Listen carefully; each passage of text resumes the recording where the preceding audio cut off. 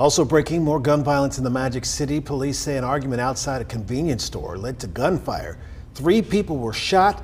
At least one has life threatening injuries. The shooting happened just before 8 tonight at the Texaco gas station on First Avenue North. Police have not released any details about possible charges.